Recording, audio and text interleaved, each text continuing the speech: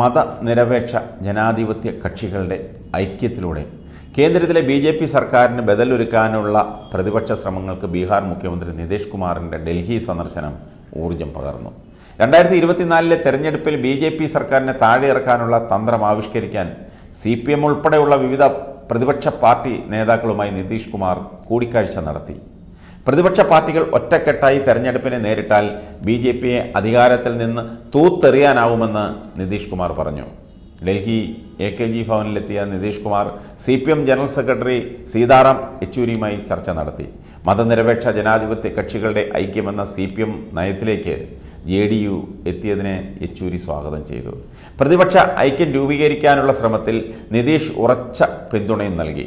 ഇടതുപക്ഷവും പ്രാദേശിക പാർട്ടികളും കോൺഗ്രസും ഒന്നിച്ചു മുന്നേറിയാൽ വൻ നേട്ടമുണ്ടാക്കാമെന്ന് കൂടിക്കാഴ്ചയ്ക്ക് ശേഷം നിതീഷ് കുമാർ മാധ്യമപ്രവർത്തകരോട് പങ്കുവച്ചു. പ്രധാനമന്ത്രി സ്ഥാനാർത്ഥിയാകുമോ എന്ന ചോദ്യത്തോട് അതായത് മാധ്യമപ്രവർത്തകരുടെ ചോദ്യത്തോട് താൻ അത് അവകാശപ്പെടാനോ താല്പര്യപ്പെടാനോ ഇല്ലെന്നായിരുന്നു മറുപടി. സി പി എമ്മുമായി ദീർഘകാലത്തെ ബന്ധമാണുള്ളതെന്നും അത് പുനരുജ്ജീവിപ്പിക്കുന്നതിൽ സന്തോഷമുണ്ടെന്നും അദ്ദേഹം അഭിപ്രായപ്പെട്ടു. ഭരണഘടനാ മൂല്യങ്ങളെയും മതനിരപേക്ഷതയും സംരക്ഷിക്കുന്നതിന് പ്രതിപക്ഷ ഐക്യം അത്യന്താപേക്ഷിതമാണെന്ന് യെച്ചൂരി പറഞ്ഞു. നിതീഷ് പ്രധാനമന്ത്രി സ്ഥാനത്തിന് യോഗ്യനാണെങ്കിലും സ്ഥാനാർത്ഥി സംബന്ധിച്ചുള്ള ചർച്ച പിന്നീടാണ് തുടങ്ങുകയെന്നും യെച്ചൂരി വ്യക്തമാക്കി.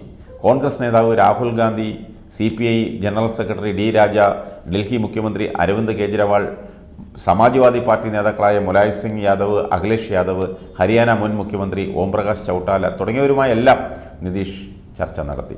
ശരത് പവാർ അടക്കമുള്ള പ്രതിപക്ഷ നേതാക്കളെയും സന്ദർശിക്കും.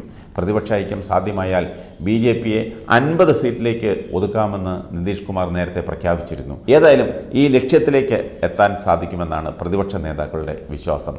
അതേസമയം നിതീഷ് കുമാറിന്റെ ഡൽഹി സന്ദർശനം ബി ശ്രദ്ധാപൂർവം വീക്ഷിക്കുകയാണ്.